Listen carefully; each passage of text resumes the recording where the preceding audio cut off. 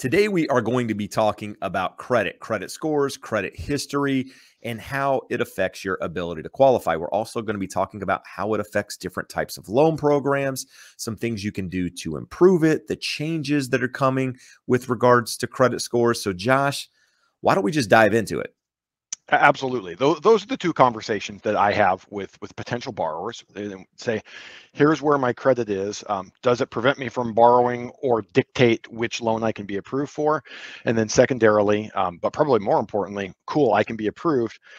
What does my credit score do in terms of an interest rate that I qualify for? So we're going to go through that for the different types of loan programs, give you some ideas and some context for what a good credit score is. I think a lot of people um, have sort of a misconception of what the distribution of credit scores looks like. We had in the early 2000s, the market had shifted down where, uh, if, any of you have, have seen uh, The Big Short, you saw Wall Street's insatiable appetite for mortgage-backed securities and what that did to pushing credit scores down. We got to a point where the average credit score on a mortgage was in the, the lower 600, 630, 640.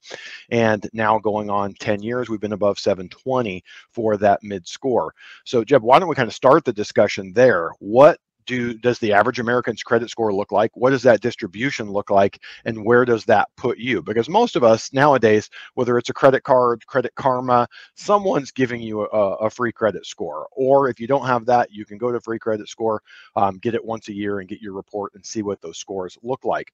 But Jeb, tell me how this jives with what what you see and what you would expect.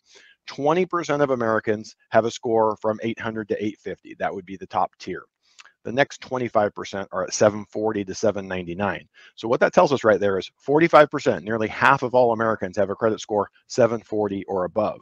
You know, in, in the people that I talk to, most people think 700 and above is the threshold for a, a, good score. But what we'll see here, the next uh, quintile here, you know, breaking it up into 20 percentage groups roughly, 670 to 639 is another 21%. Then we've got 18% at 580 to 669 and 16% down uh, at 300 to 579. And those are incredibly rare. In the last few months, I have seen one in the 400s. It's it's pretty difficult to get you, a score below 500. You got to do a lot of work to get your Absolutely. credit score below 500. Um, I, I, you know, when you say that, I'm actually a bit surprised uh, that there's that many people, 20% above an 800. Um, just, you know, in, in being in your shoes, you know, for 10 plus years and seeing a lot of credit reports and just credit history in general, you know, I, I, never saw a lot of above 800 credit scores. I mean, they they came here and there. Um, I think the highest I've ever seen is like an 819. I've never seen anything higher than that. So knowing that they go to 850 is is is surprising. I mean, I know that, but to see anyone actually come away with an 850, I think I would be, you know, really surprised to see that. And I think I'm also surprised to see, you know, 75% of people have a score higher than 670 that I would almost feel like you would have it, it, it being split more so than anything else. You know, half people above say a 650 and then half below a 650, just because you know credit. You know, a lot of people don't understand credit, and it's really easy to to miss a payment here and there. Um, you know, over the course of you know a year or months or whatever it is, and and and at the end of the day, that ends up affecting your credit score. The average credit score is 716. So surprised by that too surprised by that. So think about that for a second. When someone tells you, uh, again, I think that everyone's like me and we talk about people's credit scores as part of their job. But when very early in the conversation, I'm going to ask a borrower, Have you seen your credit score recently? Do you know what your middle credit score might look like?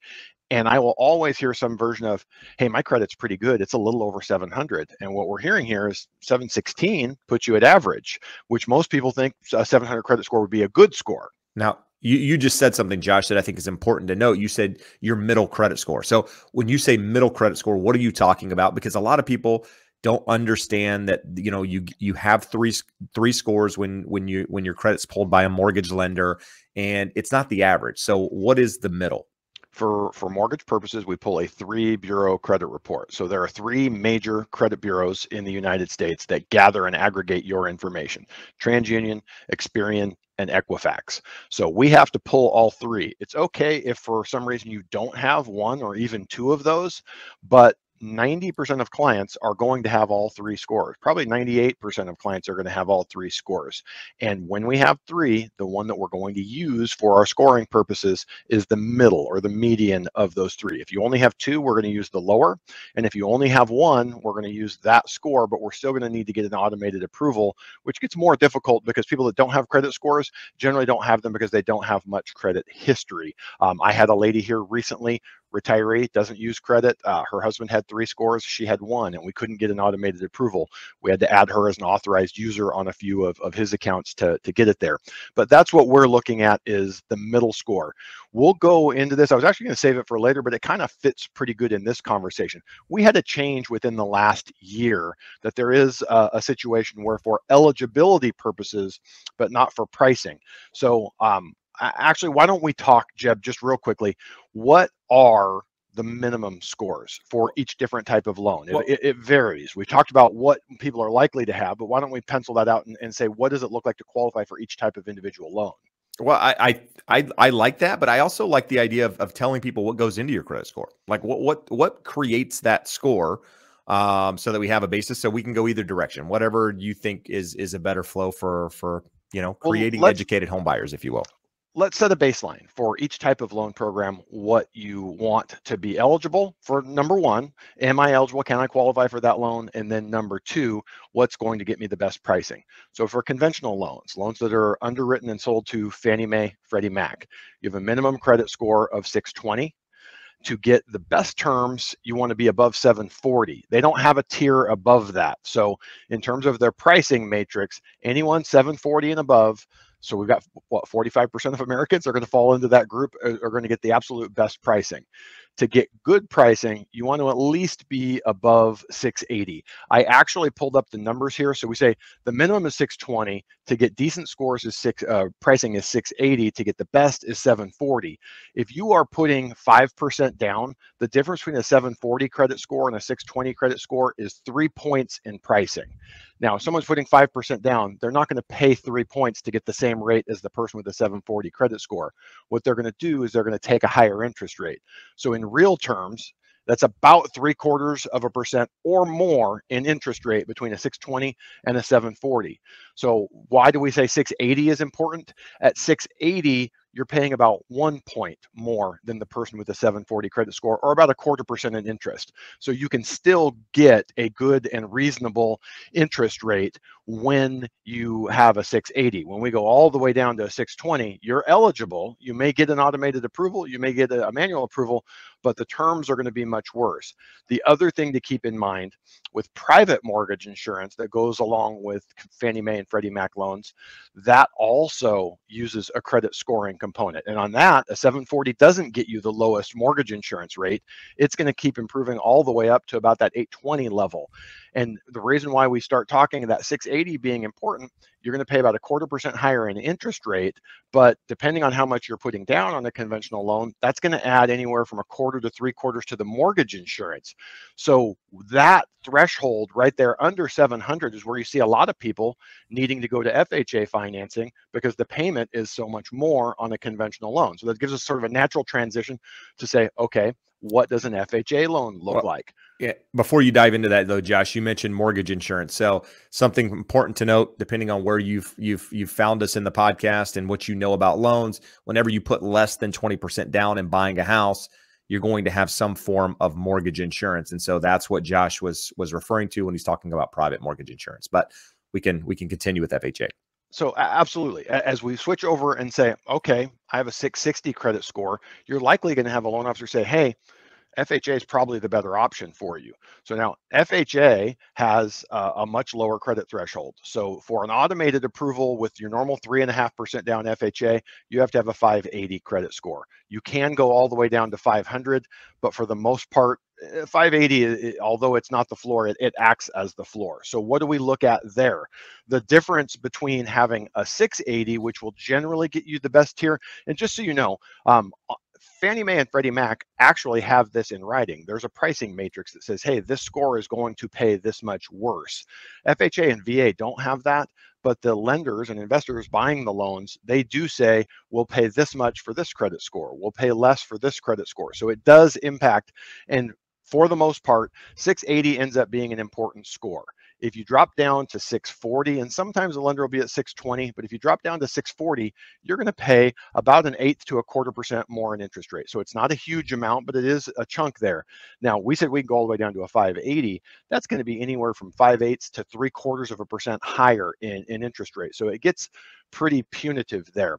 VA um, also very similar to to FHA. The best terms are going to be 680 and above. Sometimes a lender will pay uh, or offer better pricing for a 720 or a 740, but generally 680 will get you the best terms.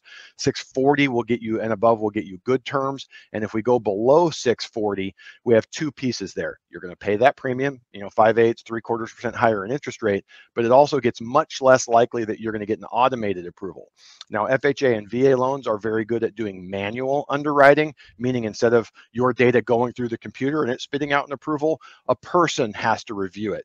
Now, the problem with that is that underwriting is much more restrictive, lower debt to income ratios. We have to have other compensating factors. So I, you can probably see at this point, a minimum goal for someone wanting to buy a home should be 680. If you can't get to 680, get to 640 so we can still likely get you an automated approval and good terms. Um, and if you're looking at a conventional loan, you want to be 740 and above. So that kind of kind of sets the threshold for where are we trying to get what is optimal for a borrower as we transition to what are the things that a borrower can do to maximize their scores no i mean i ran some numbers josh on on doing something similar you know i, I did a video you know and and which is better for for the buyer you know a, a, higher down payment or improving your credit score? If you have a 650 to say a, a seven you know an 800 credit score you're talking a, a significant difference in the rate. I mean half a percent three quarters of a percent in some cases you know between a, a 650 and an 800 depending on the loan program. And we when i ran the numbers i mean it was the the difference in payment was huge in in just that little piece alone. And you know raising your credit score is typically a lot easier than coming up with a lot more money for a down payment in many cases. But let's talk about what actually makes up that credit score because I think this is where people um, can work on things. There, there are things that you can do as a borrower to improve these. There are things that you can do as or, or borrower, as a homeowner, as a potential homeowner, that you can do to improve it. Things that you can do to manipulate it in some ways, get your score up. Um, and and at the end of the day, any any positive changes in that score are ultimately going to lead to a better interest rate and and in turn a lower monthly payment. Absolutely. So I, I like to tell people that you can absolutely improve your credit scores. The only thing your credit score is is a snapshot of a moment in time. If I pull Jeb's credit right now, that tells me what it looks like today. If he misses a payment tomorrow and that gets reported, it's going to be much worse. If he pays off a loan, it's uh, a, a revolving credit card, it's likely to get better. So the two things that are required to improve your credit score are time and or money. So let's go through the five elements that make up your credit score and what portion of your credit score. Then we're going to talk about what we can do to manipulate those in your favor to get as high a score as possible. The first factor is your payment history, and that accounts for 35% of your score. Now, this is one that really to improve takes time because this is factual. If I missed a payment six months ago, it's going to be there for seven years. Uh, public records will remain for 10 years, but your payment history is on there for seven years. I have an interesting one. I completely spaced it back in 2015 and I missed a payment. I've never missed a payment in my life. It was the one payment. And you think, okay, well, that was almost uh, eight years ago. Until July of last year, whenever I would look at my score, it gives you the four factors. One of those factors was payment history. And when that fell off uh, last July, the score bumped 40 points. It went from the high 700s uh, well into the 800s. And that was the only thing that changed from one month to the very next. So your payment history is very important. And most the most heavily weighted is your recent history. So like my situation, seven years ago, I had a late payment, one 30 day late. I still had a high 700 credit score. But when that fell off, it was 40 points higher. So if you have a credit late, you legitimately missed a late payment in the last 12 months, it's going to have a fairly big impact on your credit score. I've seen a husband and wife where the husband has a 740 credit score, wife has virtually the same credit, but she has one store card that she accidentally screwed up and missed a payment on. And it, if it was two to three months ago, that can be a 70 or 80 point hit to your scores. So it it's looking at all of these things, not in a vacuum, but combining them together. But that you know is is the easiest one to understand. It's have i made my payments on time? Have i ever had any late payments? Was it more than 30 days late? Was it 60 days? Was it 90 days? It, the scoring model is looking at that most heavily. That's 35% and, and i think josh also important to note when we talk about being late you know there's a due date right? So my my credit cards two of them american expresses are both due on the 10th of every month if I make them on the 11th, that's not considered late. It's 30 days late. So that means, you know, you still have a buffer there before you actually get to 30 days to make that payment before it actually reflects on your credit report. So being late here and there, you know, there there's actually a grace period, a 29 grace period after 29 day grace period after your payments due before it reflects on your credit report. Now, I wouldn't, you know, recommend going out there and pushing it to that. Uh, but the reality is you can still be late on some of this stuff without it actually being quote unquote late um, when it comes to credit. Absolutely. So factor number two is the amount that is owed, and it's looking less specifically at total dollar amount. Now, imagine if you're Elon Musk, you might have a credit card with a $150,000 balance on it at the end of the month. Um, for the typical person, that would be a bad thing, but if he has a $500,000 limit, not such a big deal. So what it's looking at is the credit utilization ratio. How much credit do you have available to you? How much have you used? So let's say you have three cards with $5,000 limits on them. So you have $15,000 total available and you've used $3,000. That puts you at a 20% utilization ratio. And the scoring model is going to look at that going, that's fairly reasonable usage of credit. And we'll go a little bit deeper on that in a minute. Whereas if you owe $16,000 on the three cards with a $15,000 limit, it's looking at this and going, hey, that's a problem. This person is going above and beyond the limits of what the creditors have agreed to loan them. So this is, is my favorite because this one doesn't have to get resolved with time, it can get resolved with money. So if I have a client who has three maxed credit cards and they say, hey, we're going to put 25% down, I tell them, no, we're not going to put 25% down. We're going to put 5% down. We're going to pay those cards down and do a, a, rapid rescore, which we'll get into in a little bit. So the, the last three factors are much smaller percentages and a little bit harder to manipulate, especially in the short term credit history length. How long have you had your credit? So you said, Jeb, I didn't see a lot of credit scores over 800. I still very clearly remember the first 800 credit score I saw. It was a husband and wife. They were 70 something years old. They had had credit for almost 50 years and had never missed a payment. So the length that you've had credit, all that does is it tells the model that we can watch for 50 years and see how these people handle their credit. If you're 22 years old and you got your first credit card when you were 19, we only have three years of knowing how in a good and bad economy, different times, different phases of your life, how you're going to handle that. So depending on your your age, there's not a heck of a lot that you can do about the length of your credit history. That accounts for 15% of your credit score. Credit mix, the types of accounts you have, auto loans, mortgages, student loans, credit card, other installment debt, that accounts for about 10%. So in the short run, um, you can change this. It, let's say you only had one credit card. Well, I could go out and get a store card. I could uh, ask for another credit card. But it's going to give you an inquiry. It's going to have a new account. So the length of time that your account has been established. So in a short run, it's going to be a negative over 6, 12, 24 months. Once the model has had time to see how you pay that, it will be a positive. But uh, when we're talking about using time and money to improve your credit scores, that's not a, a, great one to go after. The last one, this is the one that everyone's aware of, is new credit and inquiries. So we talked about if I opened up a new credit card, again, the model doesn't know. There's some uncertainty there. Hey, they just went and got new credit. Does that mean they're in trouble and needed money? Or does it just mean they had a, a great offer for 20% off from the store that day? Inquiries are important, but it's also important to note what the model is looking at. If you go to 10 different stores one weekend and attempt to open up store cards, um, or 10 different banks and attempt to open credit cards, the model is going to look at that and go, whoa, this person is asking everyone to loan them money. They must need money. That's that's a bad thing. Now, if you go to four different mortgage lenders, the model is instructed by the CFPB that you have a 45 day window to have as many mortgage inquiries pulled as you want.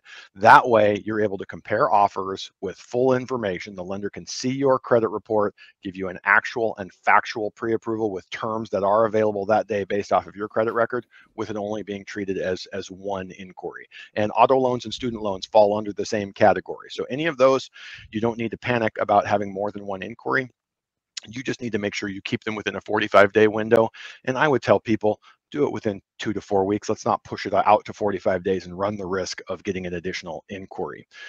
So with that, Jeb, why don't we transition to, to what you can do to maximize the credit score? Well, I think it's also important to note what's not on your credit report, right? So your cell phone bill, your your rent as of right now, the scoring model doesn't take your rent into to account. You know, small bills that that you pay, you know, your utility bills, they're not reporting on your credit report. Like Josh said, it's revolving debt, it's installment debt. That's primarily what what what gets reported. So oftentimes, you know, people are, you know, when they talk about debt to income ratio and qualifying qualifying for homes, they're they're saying, well, well, you're not counting all this other debt I have. Well, the lender doesn't take that debt into into consideration. They're only using what actually reports on your credit report. In addition to, you know, if you're receiving child support or paying child support, alimony, that sort of thing, that stuff typically isn't on your credit report um, unless you're behind on it. Um, at which point it might might show up, but that's that's what they're using when they're when they're looking at credit. But Josh, yeah, I, I think let's maximizing your credit score, right? I think that's why a lot of people are probably here. How do I get a higher credit score? How do I get a better credit score? You know, what do I need to do to improve it? Let's let's use what you just said the point that you just brought up the things that don't report. You've probably seen commercials for the last couple years experian has been pushing experian boost um, report your credit card uh, your credit card your cell phone bill um, your auto insurance your utilities and we can add those to your credit record and if you're paying those on time it will boost your score. Uh, it does work um, but it's only one bureau. We talked about you have three bureaus. TransUnion and and uh, Equifax don't have a similar thing to Experian Boost, and as a result, you're only going to boost the one score. Now, if Experian happens to be your mid score and you get 12 or 15 points of boost there, that can be very helpful. If Experian is already your highest score, or if it's your lowest score and it doesn't become your middle score, no real benefit from there. Um, furthermore, if you're looking at getting a jumbo loan, some of the private lenders, non-QM loans, jumbo loans, they will make you remove Experian Boost because they feel like you're artificially manipulating your score. And you can see because the, the items that you're adding there will say self-reported on your, your credit report, even though it is pulling it from bank statements showing that you've made those payments on time. So it's an interesting thing. I don't generally see anything bad about it. I wouldn't tell anyone not to do it. I also wouldn't tell anyone to hold out high hopes it's going to change the terms of their loan very much. So in going through this, let's just uh, basically go back through what of those factors can we change, Jeb? The most important thing is pay your bills on time. That's 35% of your score is your payment history. Um, don't have any lates, especially in the last 12 to 24 months. Once you're mm-hmm. past 24 months, your credit score will have um, healed from a missed payment as long as there wasn't a long pattern of missed payments. If you miss a payment and it's 30 days late, don't let it go 60 or 90 or 180 days late and don't let it go to collection status. The further it goes the bigger that hit is to your score. These are all statuses that are reported to the bureau and their algorithm can see and read those things. So hopefully if you've missed a payment it was an oversight. Sometimes if you contact the creditor uh, give them a great sob story. This doesn't happen very often, but occasionally we'll have clients contact a creditor and they have one missed payment ever in their life and they're able to to get it reversed if the the creditor decides to have grace. But for the most part, it's simple. Make your payments on time. If you miss a payment, don't let it go more than 30 days late and bring them current as quickly as possible. I have people reach out to me and they want to get a loan and they're currently 60 days late on a credit card it's going to bang their scores pretty bad and make it hard for them to qualify. One of the things that we've seen as soon as that credit card is brought current, it will improve rather markedly. It's going to be much worse than it was before the late, but as soon as it's brought current, it improves. As soon as we get to 12 months, it improves. As soon as we get to 24 months, it improves. And so uh Go ahead. No, I was going to ask you about what about mortgage payments. So back in the day, having a 30-day mortgage mortgage late on your credit was was, you know, basically killed your ability to to be able to buy a home. Is that still the case? I mean, if I'm currently um, you know, selling my house, buying another one, I've got a 30 day late. Is that going to affect me uh, like a credit card, or eh, or am I not going to be able to get a mortgage at all because of that late? Most loan programs will allow one times 30 in the last 12 months. Jumbo loans, for the most part, will not allow that. Um, what's really important is your terms are going to be a lot worse. A mortgage late will be treated more harshly by the bureaus in the scoring than a credit card late. So you're already going to take a hit to that credit. Now, once we get to two 30 day lates or a 60 day late, now all these lenders are going to push that out further before you are eligible. So now you're talking about some type of non QM loan with much, much worse terms than what is available in the market today. So it's a really good point, and it is very important to not have a, a mortgage late. And what we see with most people is they will they will focus heavily on getting their mortgage paid on time, their home equity line of credit paid on time because that's a secured debt. It's secured by their home. So we see a lot more lates on uh, revolving debt, installment debt, student loans, um, that type of stuff before we see uh, on a mortgage because it is important to not have any mortgage lates, although it's not a complete killer. So Jeb, we talked about that credit utilization rate. This one is is fairly easy. If you're getting hits to your score because you're using too high of a percentage of your available credit, then we want to bring those down as, as much as possible. So that the, the limiting factor is, do you have enough money for your down payment and closing costs and still some money left over to pay these down to optimize that credit score? Well, I think credit utilization is probably I mean, you you you said the percentages and and how they affect your score, but I think this is probably the most important piece of of what we're going to talk about in credit because it, it can be it can be not manipulated, but it, it can be changed in some way. If you have some money, you know, you can change it. And there's some ways that you can call your credit company and change it. And it can really impact your score. But it's a big topic and there's a lot that goes into it. So, Josh, why don't we cut it right there? Save that for part two. And in today's episode, you know, helping people understand credit, but where, you know, we'll we'll take part 2 is actually, you know, the ability to work on some of these things to help improve your score. So tune in next week where we actually talk about part 2 of credit and helping you guys become the educated home buyer.